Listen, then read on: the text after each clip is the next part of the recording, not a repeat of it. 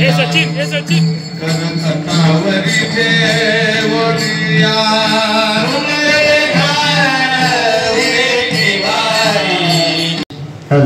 चलो सर जी ये इकडं. म्हणजे रात्री काय झालं ते बोलू. का आता बोलू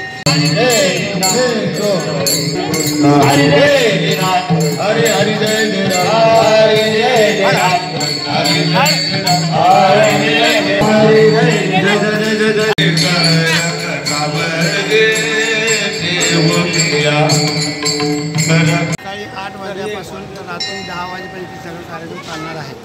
सकाळी देवाची प्रार्थना झाली. आता यज्ञ झालेला आहे. प्रवचन होणार आहे. पावणे बारा वाजता प्रवचन संपेल. बारा वाजता राम जन्मोत्सवाचा कार्यक्रम होईल. संध्याकाळी पाच वाजता बरोबर शोभायात्रा इथून निघेल. रात्री नऊ वाजता पुन्हा आरती होऊन आजचा कार्यक्रम हा संपन्न होणार आहे.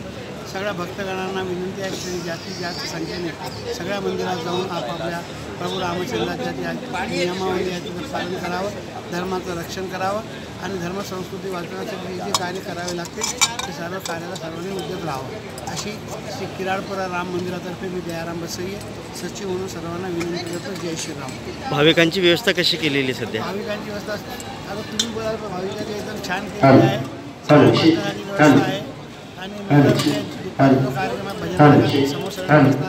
सगळ्यांसाठी व्यवस्था केलेली आहे.